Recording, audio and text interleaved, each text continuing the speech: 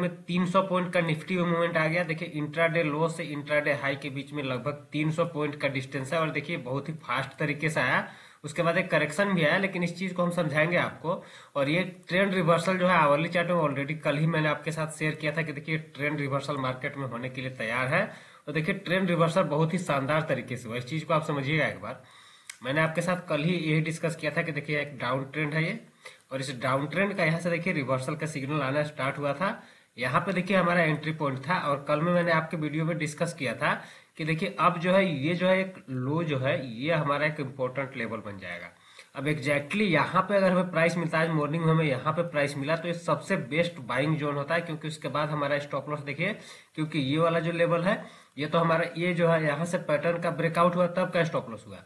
लेकिन जब हम अगर यहाँ से अग्रेसिव एंट्री करते हैं, कई बार हम अग्रेसिव एंट्री भी करते हैं, मैंने आपके साथ शेयर किया है कि अग्रेसिव एंट्री कब करते हैं जब यहाँ से ट्रेंड रिवर्सल के कुछ सिग्नल आना स्टार्ट हो।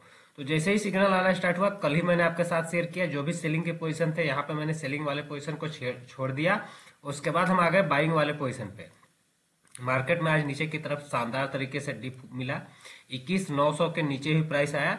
और यहाँ से हमारा एक, देखिए, यहाँ से इक्कीस नौ सौ पे अगर आप फ्यूचर बाय करते हैं, उसके बाद आप यहाँ का एक पुट बाय कर लेते हैं तो एक शानदार ऊपर के लिए टारगेट के लिए एक हेज हो जाता है। और पहले ही दिन में देखिए 300 पॉइंट का आपको मूवमेंट मिल गया।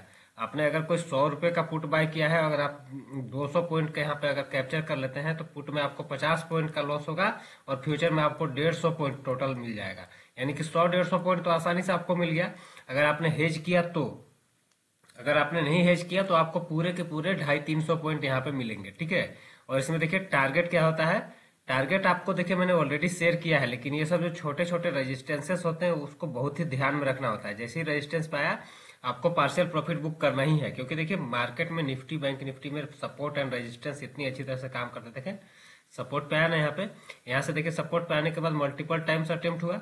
उसके बाद सपोर्ट को ब्रेक किया। मैंने बोला कि देखिए ब्रेक कर रहा है, यहाँ से नीचे की तरफ़ बड़ा टारगेट ओपन हो सकता है, लेकिन ये ब्रेकडाउन फेलियर कल ही मैंने आपके साथ डिस्कस किया।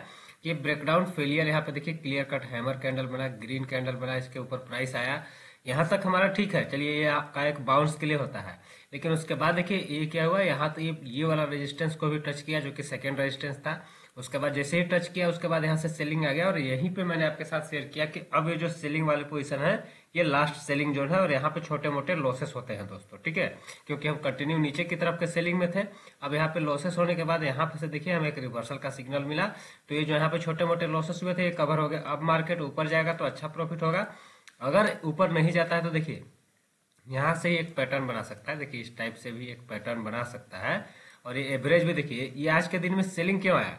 आज के दिन में इंट्राडे में आप देख रहे हैं कि इक्कीस, बाईस हज़ार दो सौ के आसपास में प्राइस आया। वापस में आप देख रहे हैं कि आपका लगभग सौ, डेढ़ सौ पॉइंट स्पीड में नीचे की तरफ़ गिर गया। अब ये क्यों गिरा? क्योंकि आप देखिए ना एवरेज कितना दूर है। मैंने आपको ये बहुत बार, हर बार यही चीज़ बताता हूँ कि एवरेज को ध्यान रखना है। यहाँ पे देखिए बाउंस आया था एवरेज दूर था। यहाँ पे देखिए ये सेलिंग आया।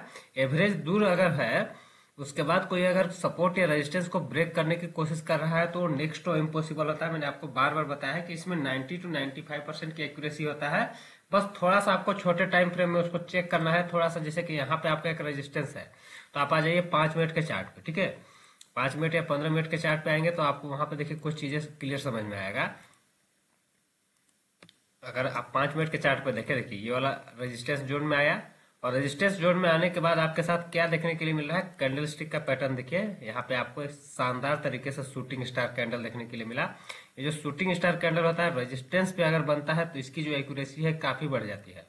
अब यहाँ पे आपको एक, उसके बाद एक रेड कैंडल भी मिला। छोटा सा स्टॉप लॉस यहाँ पे बन रहा है। यहाँ से आप एक छोटा सा सेलिंग भी कर सकते हैं। नहीं भी करेंगे तो चलेगा लेकिन एटलीस्ट अगर जैसे ही आपने शूटिंग स्टार देखा आपको यहाँ से जो है कम से कम पहली बात तो ये होता है कि हमें एक टारगेट पे प्रॉफिट बुक करना होता है और दूसरा ये अगर कैंडल का फॉर्मेशन मिले तो और भी प्रॉफिट बुक करना होता है। तो सिंपल तरीका आपको देखिए, कभी भी ट्रेड या इन्वेस्ट करें तो आप इस चीज़ को ज़रूर ध्यान रखें कि पार्शियल क्वांटिटी को टारगेट पे बुक करें प्राइस में क्या हो रहा है उसको ना देखें। जैसे कि आपने कोई एक डिसाइड किया कि यहाँ पे देखिए यहाँ से ये हमारा एक inverse head and shoulder pattern बना है तो यहाँ से हम अगर ट्रेड ले रहे हैं तो टारगेट वन हमारा यहीं पे हो जाएगा, क्योंकि देखिए काफ़ी दूर हो जा रहा है प्लस में एक रेजिस्टेंस भी है। तो हो सकता है कि टाइम पास करे तो रेजिस्टेंस पे जब भी अगर इस टाइप का अगर कोई पैटर्न में कभी भी आप देखिएगा, अगर इस टाइप से पैटर्न है तो ठीक है, लेकिन इससे पहले भी एक रेजिस्टेंस है तो उस रेजिस्टेंस के पास भी प्राइस आके एक बार टाइम पास कर सकता है। इसलिए पार्शियल प्रॉफिट बुकिंग जैसे ही इस रेजिस्टेंस पे आया, यहाँ पे प्राइस क्या हरकत कर रहा है उसको देखे बिना पार्शियल प्रॉफिट बुक करना चाहिए और फिर उसके बाद क्या हरकत कर रहा है, उसको ध्यान में रखना चाहिए। अगर आपने यहाँ पे ट्रेड लिया है और ये शूटिंग स्टार उसके बाद यहाँ पे एक रेड कैंडल बना के नीचे आ जाता है तो इसमें से भी हम एग्जिट कर सकते हैं। फिर से फ्रेश अगर इधर बाइंग के बनेंगे तो उसमें हम देखेंगे। लेकिन इस चीज़ को समझिए कि देखिए मार्केट यहाँ पे देखिए एक रेजिस्टेंस लिया है, इसका मतलब है सेलिंग में नहीं आ गया। अभी ये डाउन ट्रेंड जो था, वो डाउन ट्रेंड अब यहाँ पे अप ट्रेंड में चेंज हो चुका है, ठीक है? तो अप ट्रेंड में अब चेंज हुआ है, अब ये जो है इंपॉर्टेंट लेवल ये है, इक्कीस हज़ार नौ सौ अब इम्पोर्टेंट लेवल है। इसके नीचे जब तक नहीं जाता है तो ये मार्केट अब बाय ऑन डिप्स ही है। और ये बाय ऑन डिप्स कहाँ तक जाएगा? ये बाय ऑन डिप्स जाएगा हमारा ये जो है टारगेट लेवल बाईस हज़ार चार सौ पाँच सौ के जोन में। तो अभी थोड़ा सा 400-500 पॉइंट का हमारा टारगेट ऊपर की तरफ़ ओपन हो रहा है। ऑलरेडी आज के दिन में हो चुका है, कल भी मैंने आपके साथ बताया था। तो जो अग्रेसिव ट्रेड यहाँ पे लिया, उसके लिए अच्छी बात है। जिसने नहीं लिया, कोई दिक्कत नहीं है। इस ब्रेकआउट पे लेने के बावजूद भी फ़ायदा हुआ। अगर यहाँ पे भी अगर आप नहीं ले सकते हैं तो आपको एनालिसिस को